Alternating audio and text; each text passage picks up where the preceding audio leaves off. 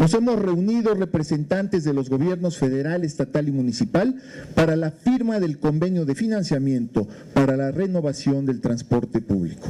Un convenio que estamos seguros será referencia en el ámbito nacional, pues está basado en el diálogo constructivo que incidirá de manera directa a favor de los transportistas y en apoyo de la economía de las familias de los poblanos. Le agradezco también al presidente del Consejo Coordinador Empresarial.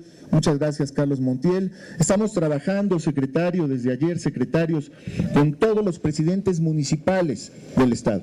217 presidentes municipales, aquí muy cerca en el centro expositor, con todos los delegados federales, con todo el gabinete estatal, con el coordinador de todos los empresarios, con todas las cámaras, con los consejos ciudadanos, para poder sacar un plan estatal de desarrollo contundente, pero sobre todo un plan de desarrollo social.